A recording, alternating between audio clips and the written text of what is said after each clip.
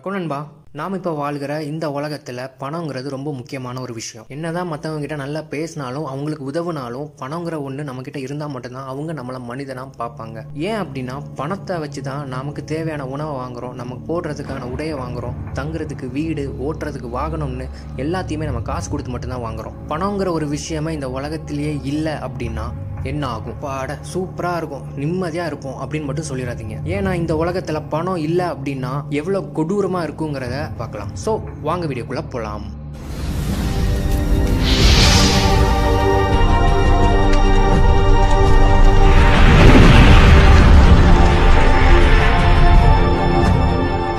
பணம் இல்லை அப்படின்னா யாராலையும் சாப்பாடை வாங்க முடியாது. ஸோ யாரும் சாப்பாடையோ அல்லது சாப்பாடு பொருட்களையோ விற்க மாட்டாங்க. இதனால இன்னொருத்தவங்களுடைய சாப்பாடு அல்லது அவங்க தோட்டத்தில் விளையிற காய்கறிகள் பழங்களை திருட நிலைமை வரும். ஏன் அப்படின்னா எல்லாத்துக்குமே சாப்பாடை எப்படி உருவாக்குறது எப்படி விவசாயம் பண்றங்கிறது தெரியாது. அதுக்கப்புறம் விவசாயிங்க தான் இந்த உலகத்திலேயே ரொம்ப செல்வாக்கான மனிதர்களா இருப்பாங்க. ஸ்டாக்ஸ் ஷேர் மார்க்கெட் எல்லாம் காசு இல்லாதனால கம்ப்ளீட்டா ஸ்டாப் ஆயிடும். அடுத்து ஹாஸ்பிட்டல்ஸ் ஹாஸ்பிட்டல்ஸ்ல ரெண்டு பாசிபிள் நடக்கிறதுக்கு வாய்ப்பு இருக்கு. ஒன்று எல்லா டாக்டர்ஸும் எல்லாத்துக்குமே ஃப்ரீயாக ட்ரீட்மெண்ட் கொடுக்கணும். இப்படி இல்லைன்னா நமக்கே சாப்பாடுக்கு வழி இல்லை. நாம் எப்படி மற்றவங்களுக்கு ட்ரீட்மெண்ட் கொடுக்க முடியும்னு நினச்சி ஒதுங்கிடணும். இதனால டோட்டல் மெடிக்கல் ஃபீல்டே டவுன் ஆகிடும் இதனால நிறைய நோயாளிகள் ட்ரீட்மெண்ட் இல்லாதனால உயிரிழக்க நேரிடும். சாப்பாடு வாங்க முடியாதனால திருடுறது மட்டும் இல்லாமல் அவங்களுக்கு தேவையான பொருட்களை அடையிறதுக்கு கொலை செய்யறதுக்கு ஸ்டார்ட் பண்ணுவாங்க. வர்றவங்க போகிறவங்க எல்லாத்தையும் கொலை பண்ணி அவங்க கிட்ட இருந்த பொருட்களை எடுத்து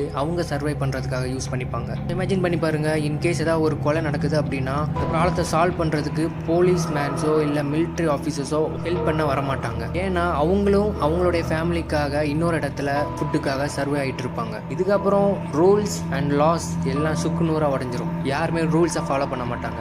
அப்படியே ரூல்ஸை ஃபாலோ பண்ணுற கொஞ்சம் பேர் இருந்தாலும் மற்றவங்க யாரும் அவங்கள வந்து நிம்மதியாக இருக்க விட மாட்டாங்க. அமௌண்ட் இல்லாமல் railway stations airport fire service ambulance எதுவுமே இயங்காது. இது மட்டும் ஏன்? எலக்ட்ரிசிட்டி வாட்டர் ட்ரைனேஜ் கிளீன் பண்ணுறவங்க பெட்ரோல் பங்க்ஸ் பில்டிங் கட்டுறவங்க எந்த வேலையுமே நடக்காது. அதுக்கப்புறம் எஜுகேஷன்ஸ் இப்போ இருக்க நாகரிக உலகத்தில் எஜுகேஷன் தான் மிகப்பெரிய ஒரு பிஸ்னஸ் அது ப்ரைவேட்டாக இருந்தாலும் பப்ளிக்காக இருந்தாலும் எல்லாருமே காசுக்காக தான் வேலை பார்க்குறாங்க. ஸோ காசு இல்லை அப்படின்னா யாரும் மற்றவங்களுக்கு ஃப்ரீயாக எஜுகேஷனை ப்ரொவைட் பண்ண மாட்டாங்க. இதனால ஸ்கூல்ஸ் காலேஜஸ் எல்லாமே இழுத்து மூட வேண்டியதான் சொல்ல முடியாது வேர்ல்டு வார் த்ரீ கூட நடக்கலாம். பொருள் வளங்கள் அதிகமாக இருக்கிற நாடுகள் கம்மியாக இருக்கிற நாடுகளை அட்டாக் பண்ணி அதில் வென்று அவங்களுடைய நாட்டில் இருக்கிற வளங்களையும் எடுத்து இருப்பாங்க. இதுக்கப்புறம் அவங்கவுங்க சர்வை பண்ணுறதுக்காக அவங்க குடும்பத்திற்காக சின்ன சின்ன வேட்டையாடுறது அப்புறம் விவசாயம் பண்ணுறதுன்னு சின்ன சின்ன வேலைகளை செய்ய ஆரம்பிப்பாங்க. காசு இல்லாதனால இதுல இருந்த பண்டமாற்ற முறை வந்து மறுபடியும் அமுலுக்கு வரும். இது நல்லது தானே அப்படின்னு கேட்டீங்கன்னா இதுக்கு நாம காசு கண்டுபிடிக்கிறதுக்கு முந்தைய காலத்தில் போய் பார்த்தா மட்டும்தான் தெரியும். பல வருஷம் முன்னாடி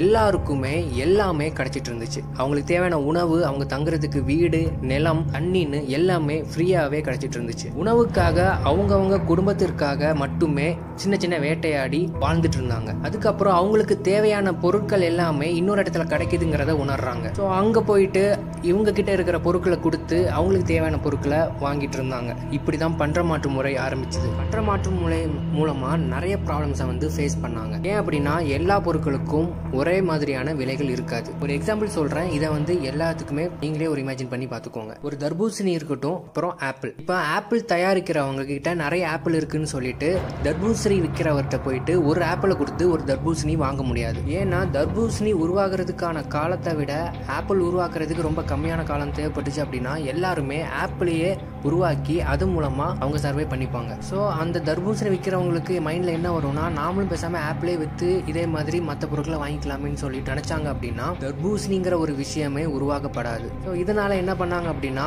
ஒரு பொருளுக்கான இடையை பொறுத்து இன்னொரு பொருளை கொடுத்து வாங்கணும். தர்பூசணி வாங்கணும் அப்படின்னா தர்பூசணியோட இடை ஏத்த மாதிரி அவங்க அத்தனை ஆப்பிள்ஸை கொடுத்தாதான் ஒரு தர்பூசணி கிடைக்கும் அப்படிங்கிற ஒரு ரூலை கொண்டு வந்தாங்க. அந்த முறையில் இருக்கும்போது என்ன பிரச்சனைன்னு பார்த்தீங்கன்னா நம்ம ஒரு ரொம்ப லாங் டிஸ்டன்ஸ் போகிறோம் அப்படின்னா போகிற வழியில் நமக்கு ஏதாவது ஒரு பொருளை வாங்கணும்னா நம்ம கிட்ட இருந்து ஏதாவது ஒரு பொருட்களை கொடுக்கணும். அதுக்காக நம்ம எல்லா பொருட்களையும் சுமந்துக்கிட்டு போகணும். இந்த மாதிரியான ப்ராப்ளம்ஸ்லாம் வர ஆரம்பிச்சது. அதுக்கப்புறம் ஃபைவ் தௌசண்ட் பிசியில் மெட்டல் சில்வரால ஆன காயின்ஸ் வந்து உருவாக்குனாங்க. ஒரு பொருள் வாங்கணும்னா அதுக்கேற்ற நாணயங்களை கொடுத்து அந்த பொருளை வாங்குறதுக்கு. இது வந்து ஒரு மீடியமாக இருந்துச்சு. அதுக்கப்புறம் செவன் ஹண்ட்ரட் பிசியில் அவங்கவுங்க நாட்டுகளுக்கு அவங்களுக்கு ஏற்ற மாதிரி காயின்ஸை வந்து உருவாக்குனாங்க. நைன்டீன் சிக்ஸ்டி ஏடியில் முதல் முறையாக சைனா வந்து பேப்பரால் ஆன ஒரு நோட்டை வந்து இன்ட்ரடியூஸ் பண்ணுறாங்க அதுக்கப்புறம் டென்த் மார்ச் எயிட்டீன் சிக்ஸ்டி டூவில் அமெரிக்கா அஞ்சு பத்து இருபதுங்கிற டாலர்ஸ் நோட்டுகளை இன்ட்ரடியூஸ் பண்ணாங்க. இது மாறி மாறி மணி வந்து எவலவேட் ஆகி இப்போ online transaction online banking bitcoins வரைக்கும் வந்து நிற்கிறோம் ஸோ இந்த மாதிரி காசு இந்த உலகத்தில் இல்லை அப்படின்னா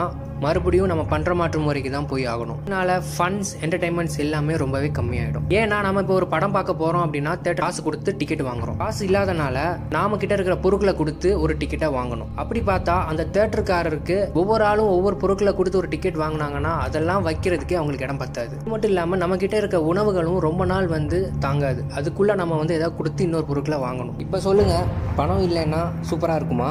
உணவுங்கிற ஒரு விஷயத்தோட முக்கியத்துவத்தை ஒவ்வொருத்தரும் ரொம்பவே முக்கியமாக தெரிஞ்சுக்கணும். நம்ம ஒவ்வொரு தடவையும் ஒரு உணவை வேஸ்ட் பண்ணுறோம் அப்படின்னா அது இன்னொருத்தருடைய உணவுங்கிறத எல்லாருமே உணரணும். இந்த மாதிரி ஒரு உலகத்தில் நீங்கள் இருந்தீங்கன்னா பணமே இல்லாமல் நீங்கள் எப்படி சரி பண்ணுவீங்கிறத கமெண்ட் பாக்ஸில் கமெண்ட் பண்ணுங்கள் தெரியாததை தெரிந்து கொள்வோம் தெரிந்ததை பகிர்வோம். நன்றி நண்பா.